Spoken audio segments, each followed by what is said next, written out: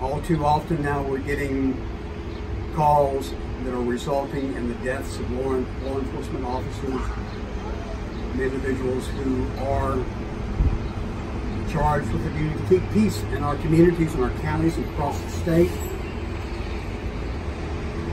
There is no routine call in law enforcement. But what happened this morning began as about as routine as you can get. But anything can happen anytime and it's happening all too often. It's taking the life of a law enforcement officer. And we, as a state, uh, salute uh, Deputy uh, Stephen and we salute the Sheriff's Department of Stone County. Our thoughts and prayers are with them and with Deputy's family. Nothing can bring him back, but we can do the right thing today. And what I'm going to ask of you is to understand that I will not be able to tell you everything that took place this morning. Uh, there is an ongoing criminal investigation, and the last thing we want to do is compromise that investigation right now. But I'll try to give you the facts that I can. A call was received by the Stone County Sheriff's Department asking for assistance at a residence at 2021 Flag Road. That is a Leslie address. Uh, this is about 17 miles southwest of where we're standing. The call uh, related to a uh, domestic uh, welfare check um, and Deputy Mike Stephen uh, took the call. Deputy Stephen arrived at the scene at 8.39 a.m. As he approached the house at the address of 2021 Flag Road, he encountered a female who he began talking to in short order, gunfire erupted. Deputy Stephen was killed at the scene. A suspect who has yet to be formally identified, we're trying to get a hold of next of kin right now.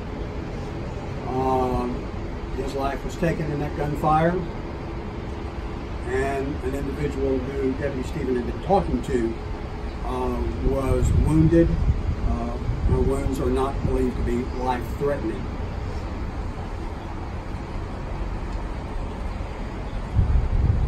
The body of both the suspect and Deputy Stephen are en route to the Arkansas State Crime Laboratory where those bodies will be examined for forensic evidence Additional evidence will be transported in short order to the crime lab.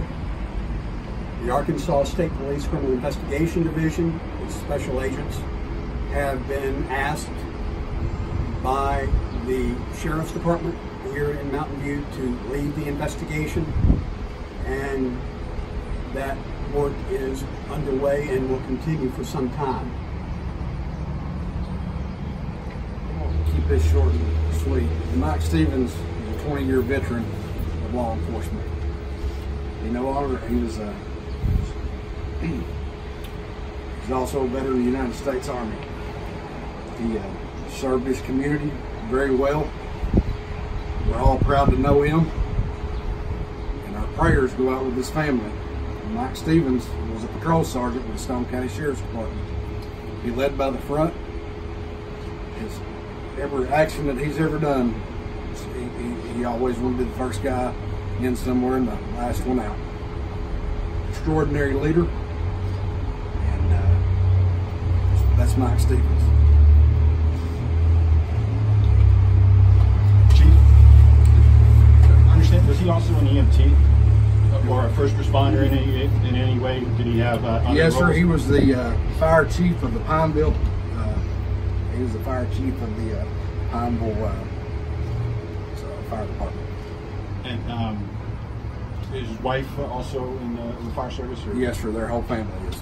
Chief, wasn't, uh, wasn't he the one that lost his son when he came along, correct? Yes, sir. He was. You spoke How old was he, uh, your deputy? What's that? What was the age of your deputy? He's 56 years old. You spoke a little bit about it, but what will your department or this area miss most about Mike Stevens? Just the leadership. I mean, he's just a. There's so much you could say about Mike Stevens, and you just can't sum it all up in a, in a short time. You know, and like I said again, he was always one to lead from the front, and he pushed his guys to their, you know, to, to be better people. He's a very big asset to this community. What was the last uh, interaction you had with Deputy Stevens? The last interaction I had with him was this morning. He called and said, "Hey, Chief, hope you have a good day, and I love you."